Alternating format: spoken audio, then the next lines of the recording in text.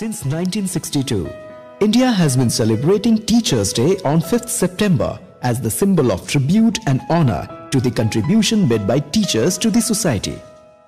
Respected among society, teachers have played an important role in the overall development of a person. They are capable to influence and mold the student's life positively.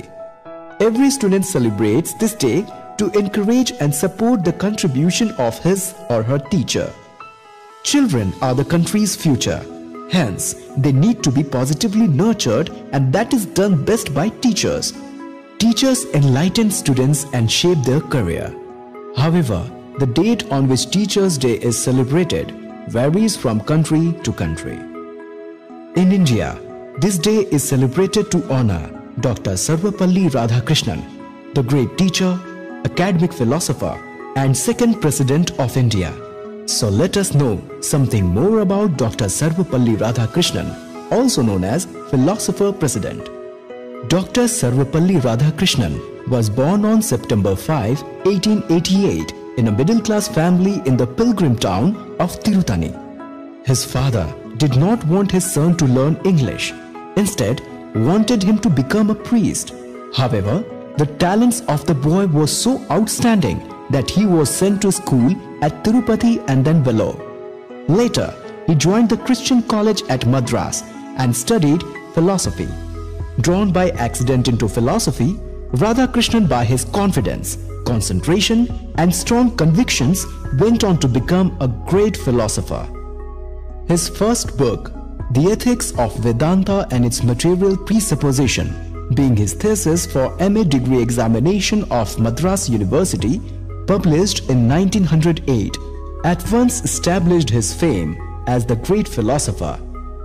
All his later works are landmark in their respective fields. To him, philosophy was a way of understanding life and his study of Indian philosophy served as a cultural therapy. By interpreting Indian thought in Western terms and showing that it was imbued with the reason and logic, he was able to give Indians a new sense of esteem who were overcome by inferiority complex by imperial forces. But he also made clear to them that their long and rich tradition had been arrested and required further evolution. He believed that in India, the philosopher's duty was to keep in touch with the past while stretching out to the future. Far from being a stern and severe intellectual removed from the world, Dr. Radhakrishnan was a very humane person. Exceedingly popular among his students right from his early days as a professor at Presidency College, he was an evocative teacher. He was offered the professorship in Calcutta University when he was less than 30 years old. He served as Vice Chancellor of Andhra University from 1931 to 1936. In 1939, he was appointed the Vice Chancellor of Banaras Hindu University.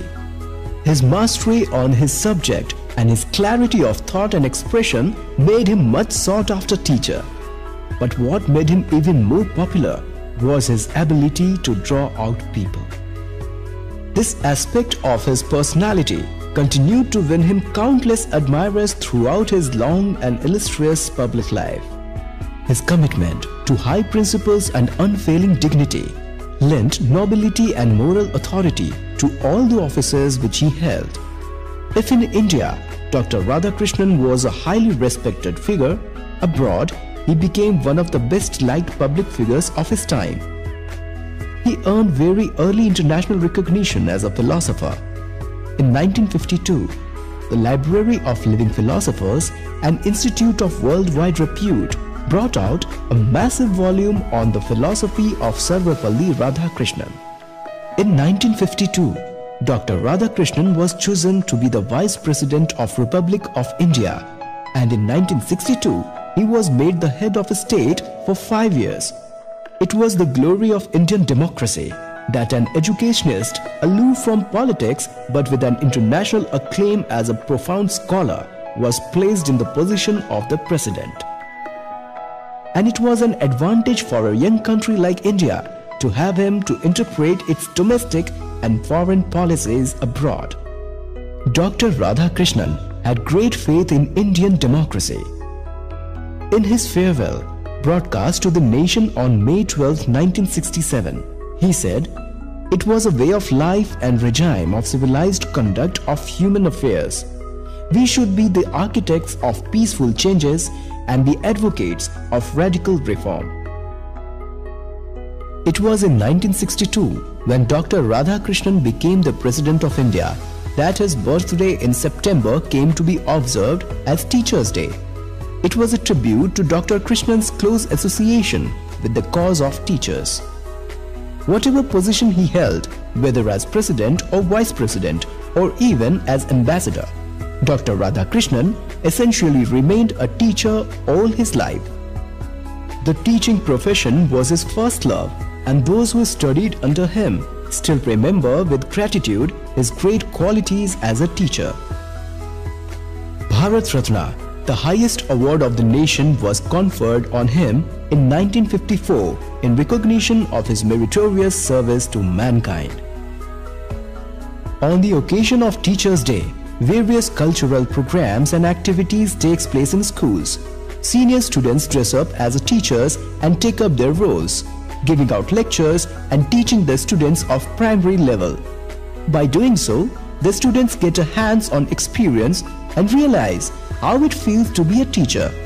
In some schools, fests are arranged and in some, reunions are organized between the old students and teachers.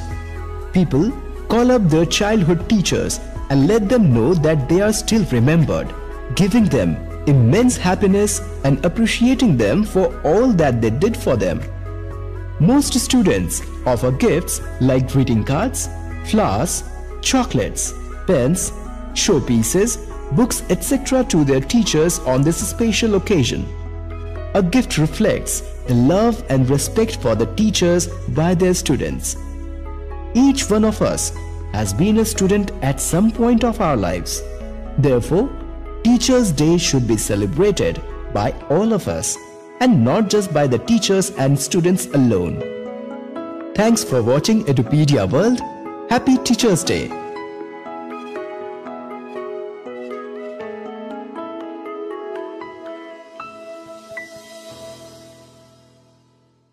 Institute of Worldwide Repute brought out a massive volume on the philosophy of Sarvepalli Radhakrishnan. In 1952, Dr. Radhakrishnan was chosen to be the Vice President of Republic of India and in 1962, he was made the head of state for five years. It was the glory of Indian democracy that an educationist, aloof from politics but with an international acclaim as a profound scholar, was placed in the position of the president. And it was an advantage for a young country like India to have him to interpret its domestic and foreign policies abroad.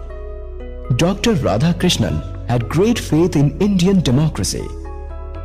In his farewell, broadcast to the nation on May 12, 1967, he said, It was a way of life and regime of civilized conduct of human affairs. We should be the architects of peaceful changes and the advocates of radical reform. It was in 1962 when Dr. Radhakrishnan became the president of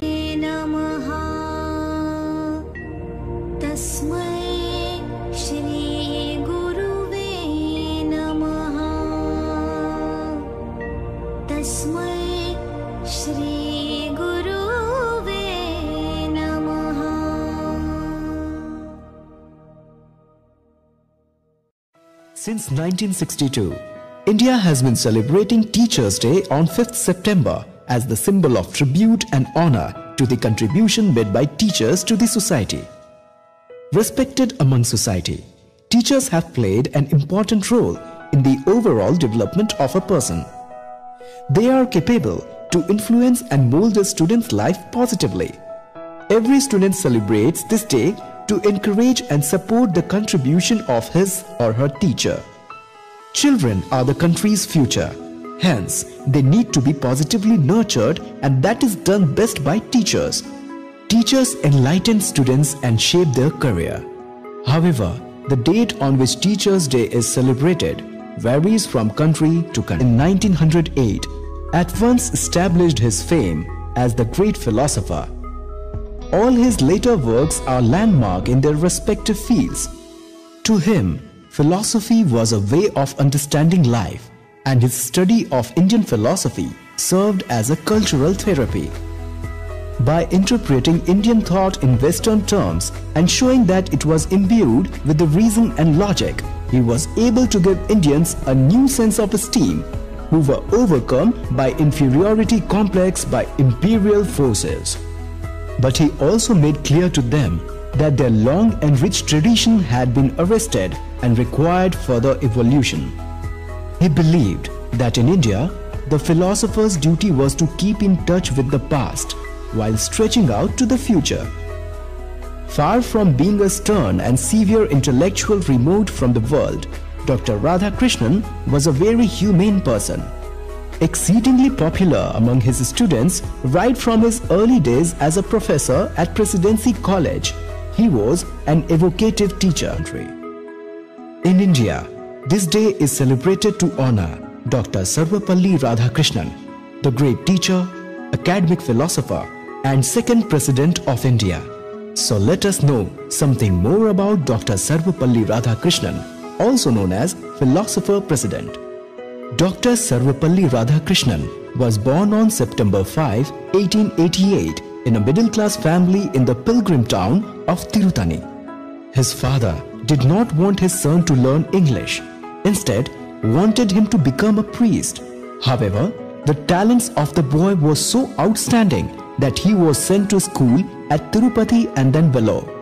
Later, he joined the Christian college at Madras and studied philosophy. Drawn by accident into philosophy, Radhakrishnan by his confidence, concentration and strong convictions went on to become a great philosopher. His first book, The Ethics of Vedanta and its Material Presupposition, being his thesis for MA degree examination of Madras University, published he was offered the professorship in Calcutta University when he was less than 30 years old. He served as Vice Chancellor of Andhra University from 1931 to 1936. In 1939, he was appointed the Vice Chancellor of Banaras Hindu University. His mastery on his subject and his clarity of thought and expression made him much sought after teacher. But what made him even more popular was his ability to draw out people. This aspect of his personality continued to win him countless admirers throughout his long and illustrious public life.